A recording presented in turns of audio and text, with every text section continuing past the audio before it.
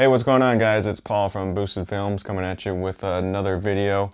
Just wanted to set this up a little bit and let you know what you're kind of about to watch. So I brought my Evo transmission to ASM or Andy Schmedegaard Motorsports. And if you're not already familiar, Andy Schmedegaard knows a lot about the Evo world. He's uh, done a lot of work on the Evos and he's an excellent, awesome driver as well. Now luckily Andy was nice enough to let me film this teardown process. I didn't really plan uh, a whole lot out for this. I just kind of asked him if I could film it while I was doing it. So I've actually never ripped into a transmission before, so this was a total learning process for me, and I was hoping, you know, to help you guys learn a little bit along the way as well, help you see inside of an Evo transmission if you've never seen inside it before. So just keep in mind that I kind of threw this camcorder up and just started recording this teardown process and Andy was obviously nice enough to let me film and explain things uh, to me along the way. So this wasn't me trying to make an exact how-to of anything, just trying to get a bit more information as I went along uh, learning more and more about this process. So that's all I got for this introductory spiel. So hopefully you enjoy the video and find something informative. Otherwise, if you have some tips for me, uh, you can always leave them in the comment section down below. As always, thanks for watching. So we're opening, we're separating the front half of the case from the back half, or how would you say that? Yep, so this is the bell housing side, and this is the actual trans case. We just got to separate those two and pull the gear shafts out. Take off the And do- does this have to come yep. off? Just gonna take that off. There's there's a couple. couple I'm gonna take this off first. And it's very important not to lose this little thing. What's very important? This Dropping those bolts. yeah, I've seen this little thing. Hold it up, actually, with over there. Yours is your, your bushings in here are kind of Should we get new ones? could. It's they don't. It doesn't. It doesn't move as freely and as nice as it could. So I, I think they do make. You can buy just a couple of these little bushings inside here. Yeah, I don't think Um, I touched those parts of the bushings. But yeah, this will sit here, and this is what controls the motion on your shifter when you're going left and right. Okay. This is that's what this controls. And then the other way, so as we go through gears, first, second, third, fourth, fifth, reverse, or maybe I had that backwards. I can't remember.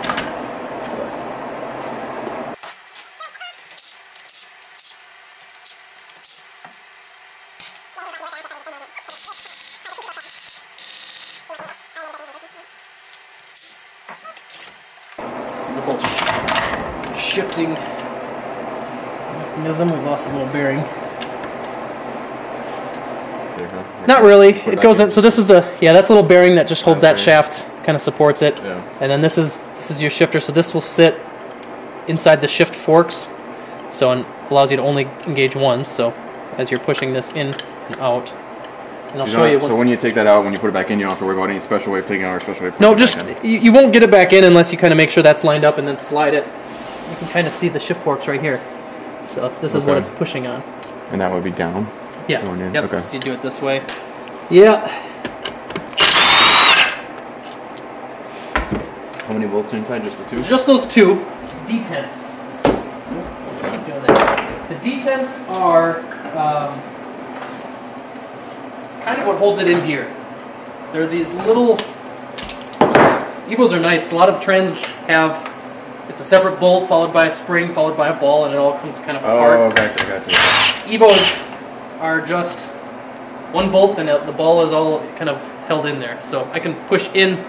You can actually push in on this ball. There's a spring inside here, and that's pushing against the against the shift forks. And there's these little notches on the shift fork. So when you're in gear, this is actually holding it, kind of in gear. Okay. If you take these out, you can actually go in gear really easy, um, but it can also pop out of gear really easy.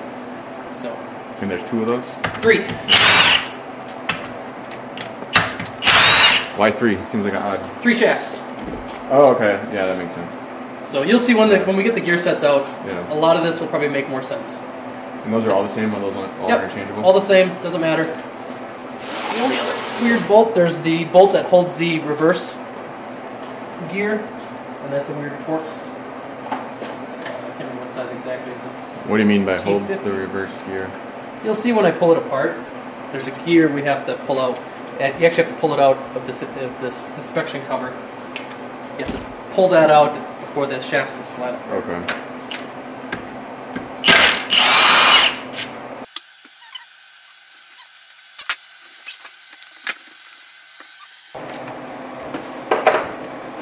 Inspection cover.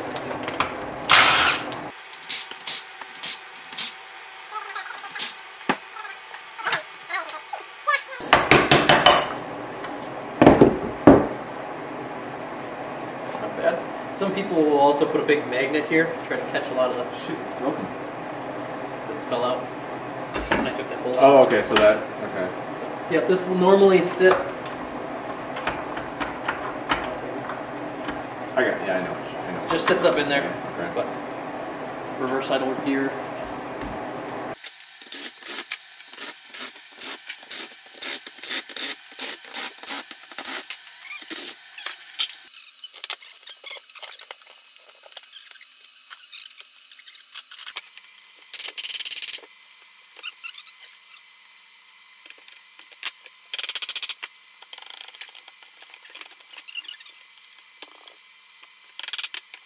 Dowels.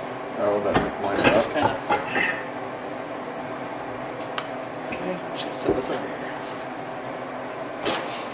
Just pop the bell housing cover off. You've got your big center diff here.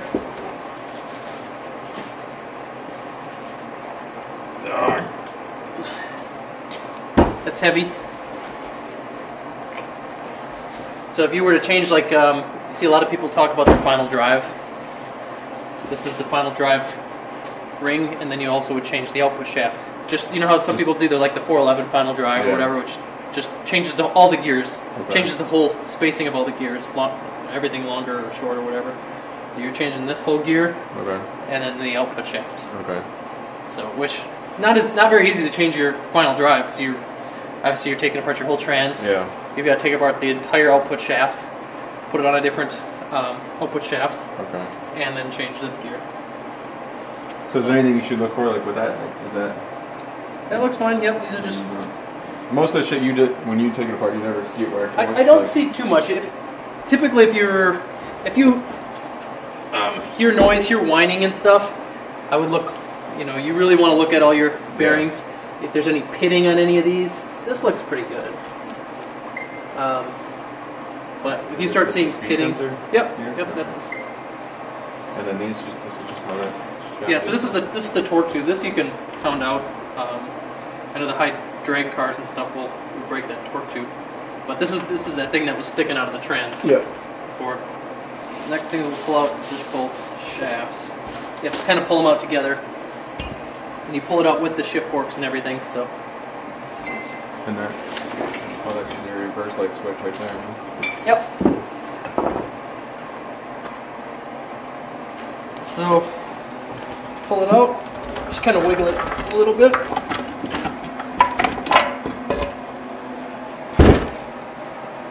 There's your shafts. So that's pretty much the guts of the trans right there, huh? Pretty much. Yeah, that's all your gears. All the shifts. So can you tell me right away, like fifth gear, where fifth gear is shit? Fifth gear is. Um, And actually, it'd, be the synchro itself probably that's bad, right? Not the gear, most likely. usually, if you catch a, if, if you keep driving it with it grinding, you'll eventually do damage to the gear. Yeah. Um, but yeah, typically it's the synchro that wears out first. I usually do a new synchro, and I'll do a new new slider. So this is the slider. We'll pull it all apart, show Mhm. more. Okay. The, the, the one sign you can do um, to test the synchro or to see how much wear. I'll just take this all apart. So here's your shift forks. What I like to do is put this all back in. If you've done enough of these, it doesn't matter. You've you've you could probably put this together, back together. Um, you know, with it all in a big box, you can figure it out Yeah. when you're first taking it apart, I try to make sure everything kind of, you almost put it back in the trans to how it came out. Yeah. So you just have a good reference point, if nothing else. The, the other real important thing, depending how you take the trans out too, you remember what I was talking about shims? Yeah. They'll kind of, they'll usually kind of stay in here with oil and stuff. They kind of just stick, but they will fall out um, if you're not careful. And if you fall out and you lose track of them, or you don't put it back in right, you might have changed all the. So where's The preload. that that whole well, this whole part here is the shim? I'll get it out. What the hell happened to this? Or is that normal? Is that rubbing down there like normal? I see that a lot. on some of them. No, then I shouldn't. There. Here's your shim. Hold on. So Alright, there's so there's one for each side. That's basically the case shim. Okay, Yep. and it was down That there. that'd be for the um, was it the input shaft, and then the other one is actually still sitting underneath this race. Uh, I won't even take it out, but if you just suffered like a a transfer, like a gear blew apart on you, and you got gear stuff, you know, just debris everywhere, you'd really want to take all this out. You take these out. There's actually um, a little chamber in here, so you're, you're you have your big final drive ring gear. yeah. It's actually acting kind of as a, a little pump. It's throwing oil up in into here, and then inside, and that actually comes out. See that hole out of here? Yeah. It'll actually push oil through here, and actually pushes it through the shaft inside inside the shaft. There's actually a little seal there. So there's oil flowing inside that shaft and kind of getting pushed out in between. Um, in between, so there's actually fluid kind of coming out, and that's helped lubricating everything. There's Yeah. some bearings in here. You know, you clean your case. These, um, the only way to get this out, yeah. right? You, ha- you have to drill those out, and then you you tap and thread it for a little bolt or whatever. Oh, that make, yeah, so you got to service it again when you needed to. Yep. Um, a lot of people, a little trick too. They'll bend this little tab here up a little bit to try to grab some more oil. Okay. Um, so you got first, first, second, third, fourth, fifth, reverse. So, So, well, but they're all like together, right? So couldn't you call that first? yeah, so there's always there's always two sides. You, ha- you have an input shaft and an output shaft side. Okay. So when you're in neutral, um, the I got a lot here. sometimes they're called the synchro side of the gear. We'll, we'll do it on this side. Uh, so first gear is spinning. Yeah. When you go in gear, it's locking them together. Gotcha. So now that spins with the shaft. Yeah. And the rest of the gears can spin freely. So, second. Uh, but we just lost third, fourth slider. But so then basically, it's, that's why you say the gears because some of them are. Some are locked to the shaft. sh- Yeah. So the, okay. one side has Are to all- free spin, the other side is locked to the shaft. Yeah. So that's how you, you have power coming in off this side, and power's going. Power comes in off the engine, power goes out on the final drive. Yeah. So one side is always locked. So first gear, um, the other side is actually built I as part of the shaft. Built in the shaft. Same with second. Um, third gear is, Is actually is gear not here. right, and it's actually not part of the shaft. It slides on, but it's locked to the shaft. Yeah. Uh, so sometimes the, tr- the trans the, the other side of the gear is part of the whole shaft. Sometimes they make it are any these- serviceable. none of these gears are actually on the shaft. Yeah, the whole output shaft. The only the only gear on it is the final drive. Okay. So everything else can be removed. But um, and then yeah, this is fourth fourth gear, um, which is also can be removed off the shaft. So when you do your straight cut fourth gear, it would have this gear and this gear. Yeah. It has both sides. It made sense they have to made up, obviously. Yeah. Okay. But that is interesting. sure, I'm looking at the, this is fourth gear. Th- This this is the fourth gear. Okay. Um, the synchro side. This is the other side. Okay. So, yep. And then as you're in neutral, it's just this gear is just free spinning. So your gears are always spinning. Yeah. Um, you know, even when you're not moving, if you if the car's running but you're in neutral, this is still spinning, Because you're getting. and then it's which is also transferring. You know, so this gear's always spinning, and this gear's always spinning. Um, these sides won't spin because this one's spinning over here. So you're, you're, you're, the gears are just free spinning in there. Your trans, everything, you're, st- you still have moving parts inside your trans, Even when the car's just sitting in neutral. in, unless you're holding the clutch in. When the clutch is out, this this is connected to your clutch. Yeah. So when it's out, this is spinning with the engine. So that your this shaft is always spinning. Interesting. You ever notice in uh, really cold weather, you start your car, you let the clutch out, and you can kind of feel it creep forward? Yeah, my Subaru just did that. Yep, th- that's because this is spinning, and the fluid is so thick that it wants to spin this other side of the gears, just because the fluid's, you know, it's creating drag and stuff, and it's wanting to spin the, the other side of the shaft. So the way a synchro works is you have this cone. This is slightly coned, along with the synchro. So if you don't put any pressure, you can spin this Yeah. right? As soon as you add pressure, it adds friction, and it's hard to spin these two separate from each other. So the purpose of the synchro is to slow this gear down or speed it up or whatever. To it, it's got to synchronize to the rest of the the shaft. Otherwise, you'll just grind the gears. Because you have two when you're going from third to fourth, the shaft has to change speeds. Yeah. So the synchro, when you when you push on your shifter, it moves these forks, which Yeah. moves these sliders, which will actually push down on this synchro. As it's going into gear, it's pushing down to help mesh that that gear speed to the shaft. So when, as it's pushing, it's it's putting friction to try to slow this gear down or speed it up, and then you'll engage the gear. This this slider actually will drop down and lock in all, all these teeth to the slider, which then locks this gear to the rest of that shaft. So you've just engaged that gear. So when the synchro wears, you can push this down and it, it wore you know too much material off here or, or the synchro and it'll actually bottom out so this little gap down here between the gear and the synchro this one's this you can actually see a little bit of gap Can you bring it down a little bit? Right there.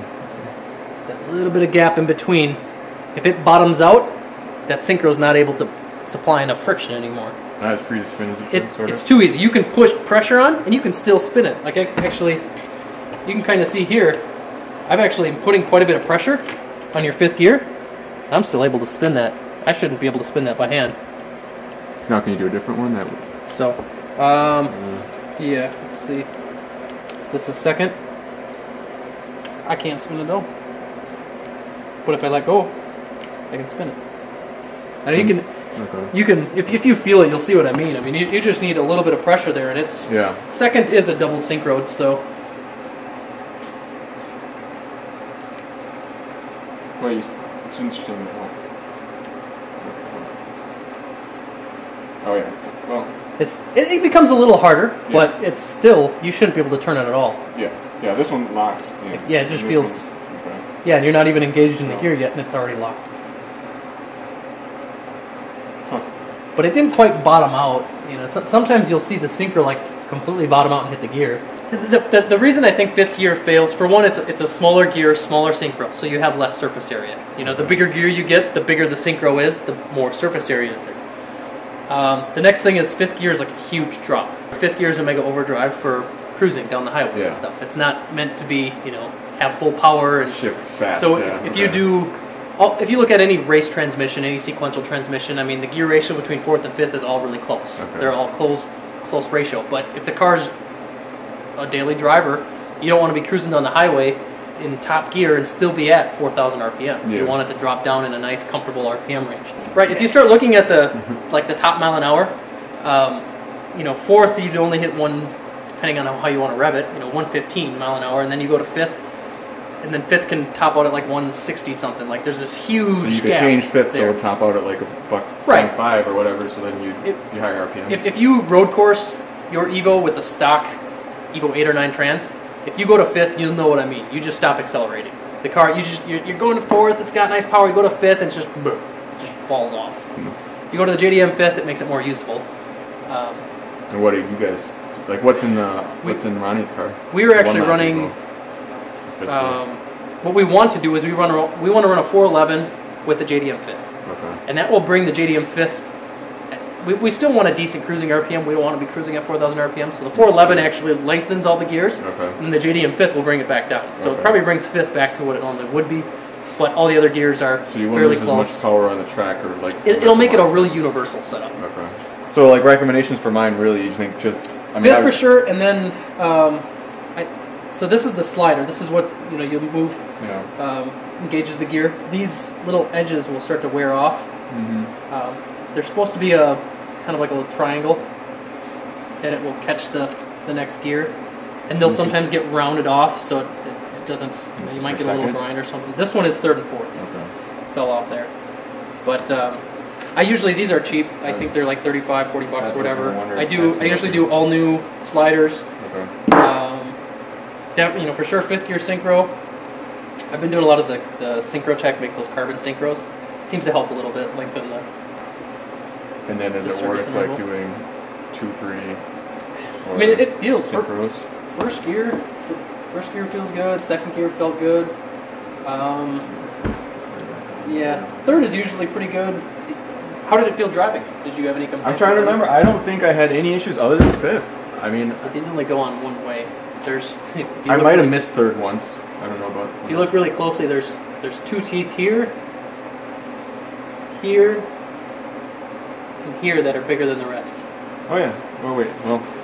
I- Yeah. Okay. Interesting. So and that those actually line up on the on the hub. There's two teeth that are deeper, right there. Those two are deeper than the rest. Okay. So there's, there's three spots. So it only it only goes on one way. Hmm. So if you that's why you kind of gotta you have to line it up just right. Okay. So there they are.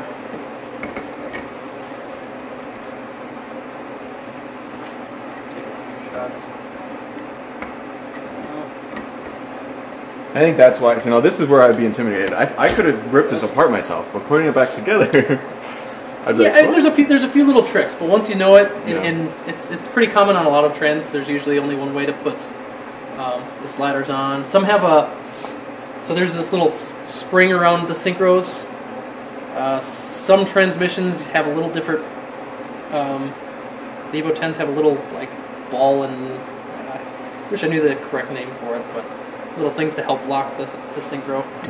I don't know. There's every trend's a little different, but you start taking one or two apart, and then they're all kind of generally the same. yeah. And once you understand the concept, you just. I learned just by you know, I kind of researched the concept, and then I just took one apart, and I would just sit here and play with it for a little That's while. what, You know, that's what you got to do. But Yeah, I, I feel better doing it when someone else shows me and explains to me. So I'm not just like, what does that do? Like, well, it, it definitely saves time. I mean, Yeah, because like spent, to know that you just put all the pressure on it and that you shouldn't. yep, shouldn't. shouldn't be able to Yeah. spin it.